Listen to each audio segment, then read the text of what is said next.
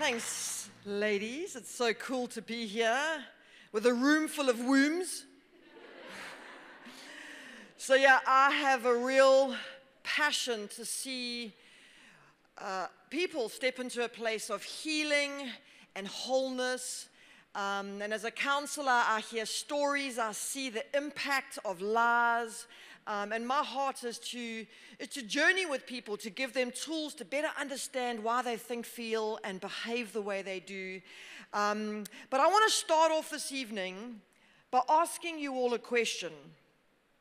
How many of you have ever felt forgotten? A sense of being ignored or maybe unseen, overlooked, snubbed, disregarded, invisible, unimportant, silenced, immaterial, insignificant, irrelevant. Maybe it's because of friends or family or spouses, or maybe even with God. Well, let me ask you a little bit differently. How many of you have feared that you're going to be forgotten? Feared that you know, maybe I don't actually matter to this person or, or that person, or, or maybe I, I, I kind of matter too much. Maybe I am too much, or, or maybe I'm not enough. And so this fear causes this potential of pain, which can often even paralyze us in our ability to walk and relate with others. The potential of getting hurt or rejected just triggers and deepens this fear. You see, being forgotten or invisible is actually one of the most painful of human experiences because we are wired for connection. And so the idea of showing vulnerability and need, and then the what if I do and I'm still rejected. Many years ago, when I lived in London, I was running for a train and uh, ran past this homeless guy, and he shouted out for a coffee. And I'm like, "Oh, dude, I'm gonna miss my train." Well, I ended up missing the train, so I got two cups of coffee, and I thought I'd just go hang with this dude while I waited for the next train. And I ended up talking to him for six hours that day. I missed lectures, um, which was fun. But um, I was asking him about his life story and you know what it was like being homeless and his experiences. And he said to me, "You know." The pain of hunger or homelessness or being cold is nothing in comparison to the pain of being ignored or unseen or that feeling of I'm forgotten, that I don't matter. And now, when I was thinking about this, you know, as women, we're, we are nurturers by nature. You know, to be connected and to, and to kind of be seen is, is everything that kind of drives us. And I think this is why this kind of experience wounds and injures us so much. And I don't know about you, but sometimes we can almost spend hours ruminating, mulling over these kind of thoughts around maybe I'm not enough, maybe I'm not important enough, maybe I'm unlovable, maybe there's something wrong with me. It's in this space in our minds that actually we're most vulnerable to attack. 2 Corinthians 10, verse 5 says this We destroy every proud obstacle that keeps people from knowing God, and we capture rebellious thoughts and teach them to obey Christ. When I, when I teach my boys about this, I talk about playing cops and robbers. Because the Bible says we need, to play, we need to be the cop to the robber of our minds. And when you look at the root word of this word thought, rebellious thought, the root word for that word thought is noema, which means a mental thought with a specific evil purpose. I don't know if you ever watched movies like Braveheart, where the enemy would get an arrow, they'd dip it in fire, light it, I mean, dip it in fuel, light it, and then shoot it into the thatch of the enemy's house with the intention of burning the house from the top down. And that's exactly how the enemy works. It says we must, we must put up our shield of faith so we can hold it up against the, the fiery attacks of the enemy. 2 Corinthians 11 says that, so that Satan will not outsmart us, for we are familiar with his evil schemes. That word scheme is the same word noema as that word, first one, capturing rebellious thoughts. So the way, the way the enemy works is anytime you go through any circumstances or experience of life, he's constantly throwing fiery arrows, rebellious thoughts, schemes at your mind to attack your identity and your worth. Because his job is to destroy you. And I imagine even when Roxy was doing her modeling career and she spoke around this idea of believing her value was based on what she did. And that is the biggest scheme lie the enemy wants you to believe that who you are is based on how you behave or how somebody else behaves towards you. So if somebody rejects you, we don't look at the behavior of rejection, we internalize it as, into this idea that there's something wrong with me. Their behavior becomes who I am. You know, the only power one of these thoughts have over you is if you agree with it. The second you agree with a thought, you turn it into a belief and it robs. It robs from the joy of living because our minds become obsessed with fears, or, or it'll rob you from the potential of a deepening relationship because you're going to put up defenses because you're afraid that if I allow someone in, they're going to just reject me. And it robs you from the freedom of just being you because of this fear and this doubt that actually I'm not enough. For so many of us, we'd rather hide our fears, hide our needs, hide our insecurities. Our instinct is to be there for everybody else. But our fear is to hide ourselves when we have needs. Um, it's so interesting when, when a person reaches out to care for somebody else, it actually puts them in the position of feeling powerful because they're in control. They're the one that's actually offering the help. But when you have a need, the, the idea of revealing that need puts you in a position of feeling out of control, powerless. Because what if? What if I reach out and expose my need and I'm rejected? The idea of experiencing that is way too painful. I know that pain of forgotten.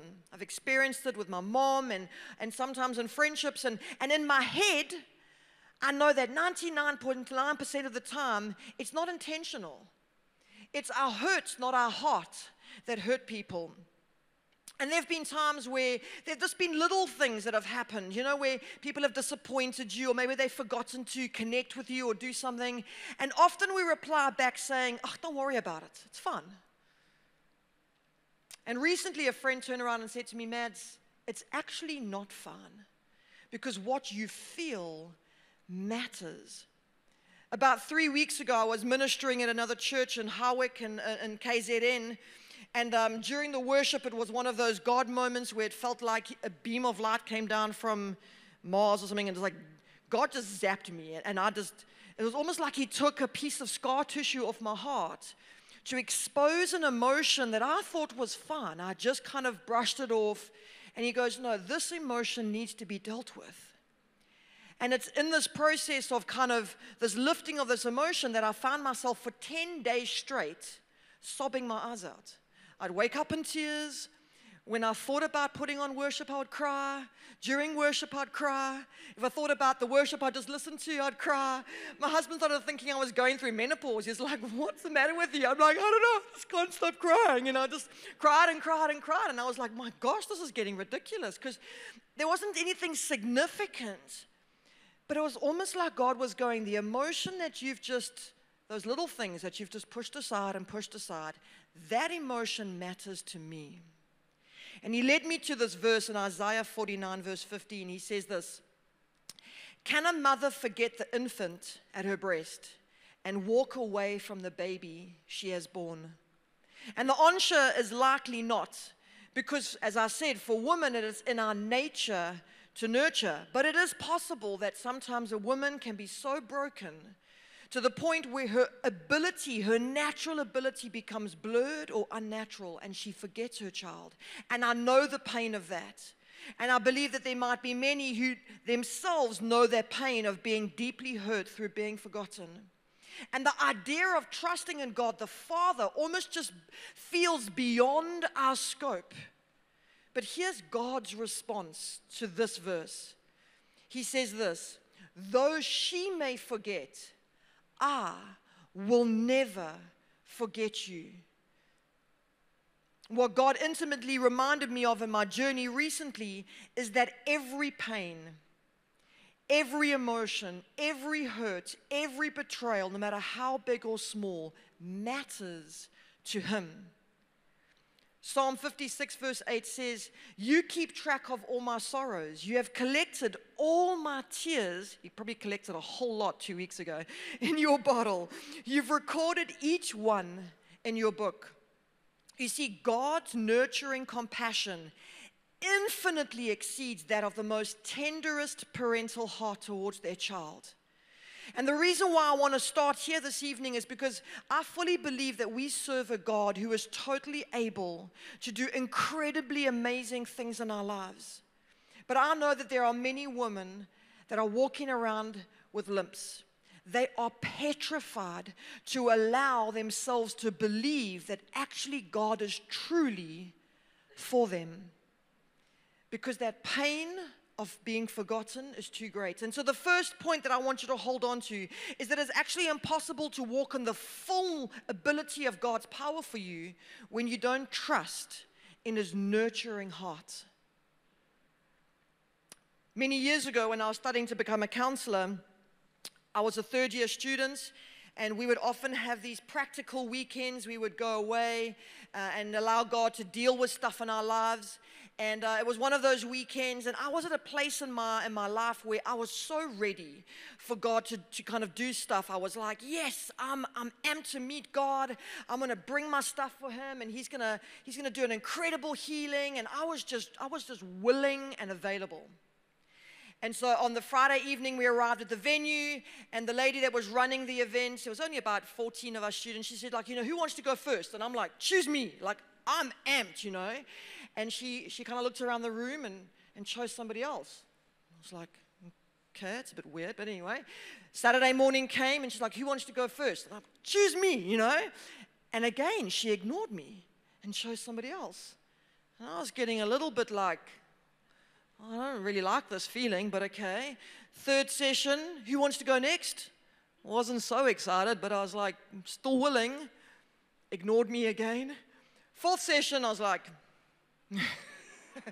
Fifth section. By that evening, this rage started to rise. You see, emotion is a funny thing, it's got no concept of time. If you're experiencing rejection now, but you've experienced rejection and forgotten this in the past and you've never processed it, it's almost like an emotional tsunami gets triggered in the present. It just accumulates and kind of. Bl- and that evening, I was sitting in the canteen, pushing my food around. I was angry. I was ruminating in my mind, you know, God, like, here I am, I'm ready, and you just let me down like every other person in my life has let me down. And, uh, you know, I'm so angry and I was furious. And one of my lecturers came and sat down at the table by me and she could see I wasn't in a good place, and she was trying to, you know, I don't know what she was saying to me. I wasn't really paying attention, but she was trying to minister to me or speak to me. And eventually, I kind of just stuck my head on the table. I was kind of hoping if I if I did that, she might get the message and just go away, because you know I'm just angry. And um, and while I'm sitting there with my head on the table, God says to me, Madz, look at your thumbs. And I was holding my thumbs like this. He says, whenever you are fearful or feeling rejected or, or feeling uh, you know, ignored, you start to self comfort. You push people away and you've learned to just depend on yourself because in your mind you're telling yourself that no one else can be trusted. And then he said to me, I want you to ask this lecturer of yours to hold your thumbs.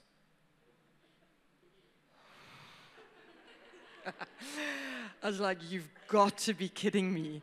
That's just so embarrassing. Like, and we had a little bit of an argument about it, and he's like, no, seriously, you need to know what it feels like to be able to ask somebody else, be vulnerable before somebody else, to hold on to you when you're not in a good place.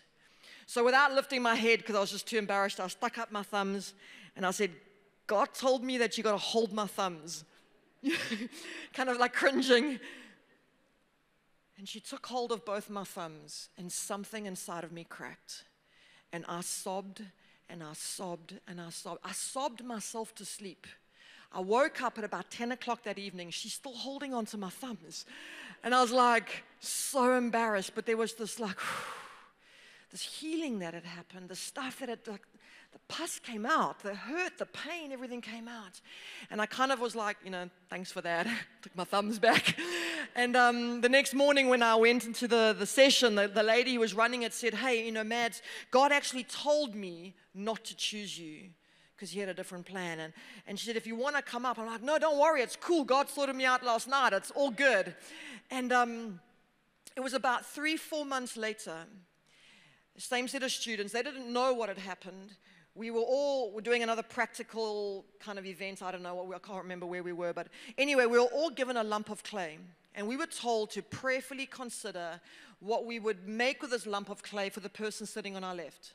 Don't ask me what I made for the person on my left. I have no idea. But there was the guy, the guy that was sitting on my right or his left. Uh, he was this guy called Angelo. He was the only dad uh, and father on the course. He was this big kind of Italian guy. And um, God told him to take the lump of clay and to squeeze it and make a mold of the inside of his hand. And uh, I didn't see him making it, but he, you know, when we had to exchange lumps of clay, he gave me this, this kind of thing. And I was like, what is this? He said, no, God told me specifically that you needed something new to hold on to, and that you needed to have the impression of a father's hand to hold on to. And the reason why I share this story is because I believe there are some here tonight that need hope handles to hold on to of the goodness of God the Father, who intimately knows each one of you by name, every hair on your head, every wound in your heart, and He wants to meet you where you are. And my hope as I share the story is that it will give you courage to invite Him into those most painful spaces because I know without a shadow of a doubt that He will meet you where you are. Ephesians 3:20 says, "Now unto him who is able to do immeasurably more than we could ask or imagine, according to his power that is at work within us." And I want to draw your attention to the three words, is able and power. And when we look at the Greek of those words, is able, is the word dunamai, which is an, an inherent ability because of the power one has. And the word power is dynamis. So it's kind of literally, they're kind of almost sibling words. They're so close in their meaning. And dynamis means an inherent power residing in a thing by virtue of its nature. In other words, what the scripture is trying to say is that God has an inherent ability to do what his inherent power allows him to do by virtue of his nature. I mean, to simplify it, he has the ability and the power to do what's already in his heart for you. And his heart is to connect with you because he's a restorer. So there are three things that I want you to walk away with knowing today. The first is this God is able to meet you where you are. So often we think he doesn't know where I am. He can't hear my prayers. He can't see me. He doesn't know what's going on in my heart. But I want you to know that God is able to meet you where you are. There's a story in scripture about a woman who lived a life of avoiding others because of her own shame. See, shame is an identity crippling emotion, it causes us to hide. And so she chose to hide from people. She chose a life of being forgotten because it was too painful to face others in case she received rejection. And it's a story of the woman at the well. And in biblical times, it was qu- quite well known that if a, if a Jew was traveling from Jerusalem to Galilee, they would willingly take a three day detour, and they're walking here, there's no taxis, buses, or greyhounds. They would take a three day detour to get to Galilee just to avoid going through Samaria because they were people that they would rather forget and not engage with. And John 4, verse 4 says this it's talking about Jesus. Now he had to go through Samaria. So immediately I asked myself, why? Why did he have to go? I mean, was he late for an urgent appointment? Did he have a, you know, a preaching ministry the next day, and so he couldn't take a three-day detour? Scripture doesn't tell us anything that he was like late for something or needed to be somewhere. But what it does tell us is that it leads him to a story of a woman who experienced what it means to live forgotten. And he engaged with her there. It reveals that God makes appointments to meet you where you are. Why? Because he's able to. And he wants to. It's in his heart, it's in his capacity. It's, his, it's he wants to find you, he wants to comfort you, he wants to connect with you because you matter to him. And no matter where you're hiding, even if it's at a well in the middle of the day, he will find you because his heart is about restoration and bringing you into healing and wholeness. The second point I want you to know is that God is able to restore you according to his plan that he has for you. His heart is to put you back together. He's in the restoration business. Listen to the scripture in Psalms 18, verses 20 to 24. This is the message version. It's such a beautiful description of God's heart. It says this God made my life complete when I placed all the pieces before Him. When I got my act together, He gave me a fresh start. Now I am alert to God's ways. I don't take God for granted. Every day I review the way He works. I try not miss a trick. I feel put back together and I'm watching my step because God rewrote the text of my life when I opened the book of my heart to His eyes. Did you know that God has a blueprint to your original design? That when God was dreaming about you, he started doodling. He was like, Who's this person going to be? And he's dreaming about you and he's, he's kind of imagining how he's going to create you. Because Psalm 139, verse 16 says this You saw me before I was born. Every day of my life was recorded in your book. There's a book up in heaven in God's heart with your name on it with your story in it. Every moment was laid out before a single day had passed. For some of us, we sit there thinking, nobody gives me a second thought. God thought about you so much that He even wrote your story in His book. Because you were dreamed of by a dreamer. You were created by a creator. You were planned by a planner. You were built by a builder. You were designed by a designer. You were sculpted by a sculptor. And you were knit by a knitter. If that doesn't speak your value, then I don't know. And we need to grow in a confidence of understanding that even though there was an original design and I was born into a broken world that maybe caused injuries and hurts and pains that have resulted in me walking in a limp, and now we think I'm so far off from what I was originally designed. It's almost like getting a Lego masterpiece. My boy loves building Lego and he gets the booklets and you know sometimes he builds it and then something happens and he drops it and it shatters into a thousand pieces. But the good news is he can go back to the book and figure out where all these pieces belong. And that's what it's like with God. When we bring those pieces of our lives back before him, he can put us back together again. It's not something we have to do by ourselves. It's something that all we need to do is bring the pieces to him. And he's a good God. The third thing I want you to hold on to is that God is able to empower you to walk in the fullness of the plan he has for you. Jeremiah 29 11 says, For I know the plans I have for you, declares the Lord plans to prosper you and not to harm you, plans to give you a hope and a future.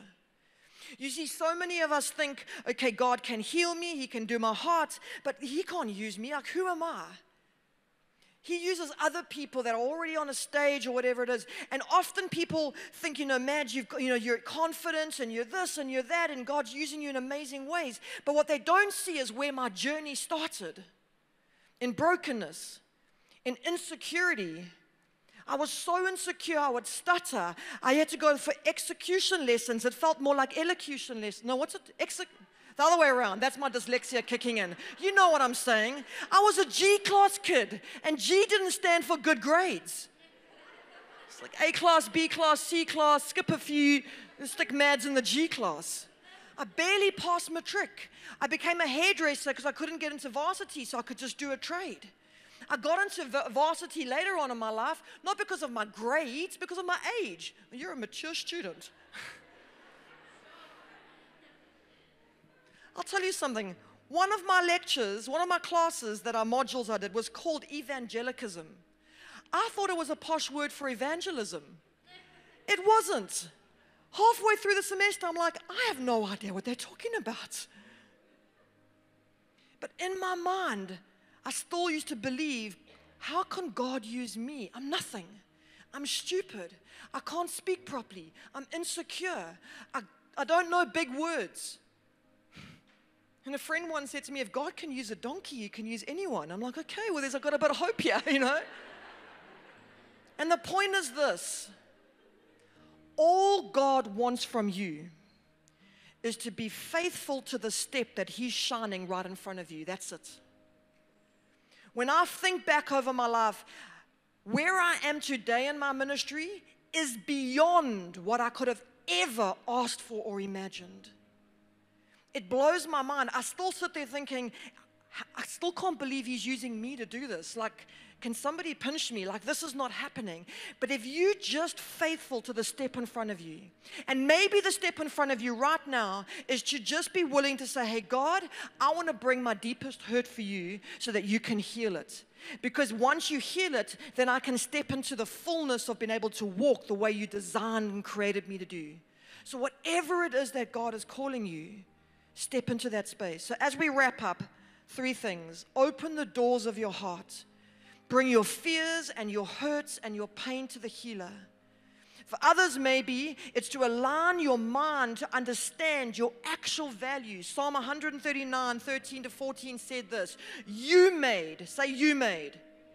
You made all the delicate inner parts of my body and knit me together in my mother's womb. Thank you, Lord, for making me so wonderfully complex. Your workmanship is marvelous. How well do we know it? Here's the point Do you know your made by label? We often look at the label in clothing to consider its worth and its value. But forget Gucci or Prada, you were made by the Father.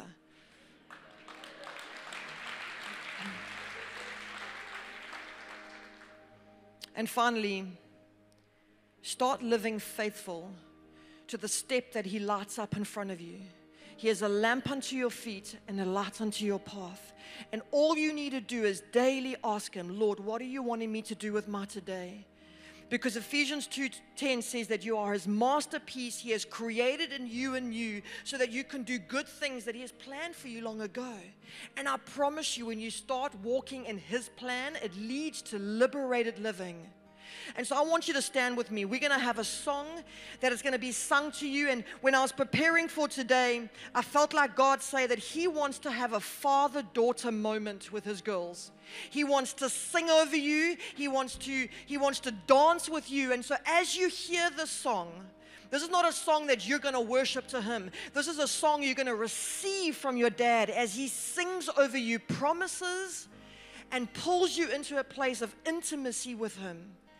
And so, whether you want to raise your hand and hold on to His, or dance with Him, or whatever it is, or bring Him those pains in your hearts, or choose today to say, I'm going to walk in faithfulness, trusting that you've got a plan for my life, whatever it is, I encourage you that as you spe- step into this space, that you just surrender to Him because He is a good, good Father. Amen. Thank you so much for watching our YouTube channel. We really pray that you find it helpful in your journey and we also really want to encourage you to take your next step by signing up to join a small group or to do discovery. Thanks again for watching and don't forget to subscribe and share this with as many people as possible. And we really can't wait to see you next Sunday.